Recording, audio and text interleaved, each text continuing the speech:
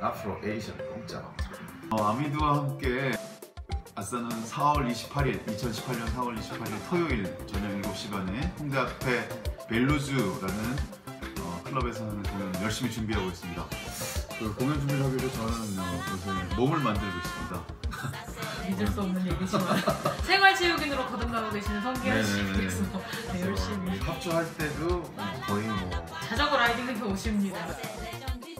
그래서 저도 약간 도장 깨기라는 심정으로 그거를 맨날 받아놓고 있습니다. 뭐, 뭘게? 도장 깨기 하는 되게 딱 아, 겪어하듯이 도장 깨기. 네 그렇습니다. 샤워팅을 정비하고 있으니 여러분 많이 마셔주세요. 네네. 경로석도 많고 여러분 일어나셔도 안 말리고 앉아서 쉬셔도 안 말리니까 겁먹지 마시고 오셔서 같이 봅시다. 자리 남아 있습니다. 지금 예매하세요. 아싸, 화이팅! 그래 봉봉 쇼! 쇼! 쇼 머스 고 온!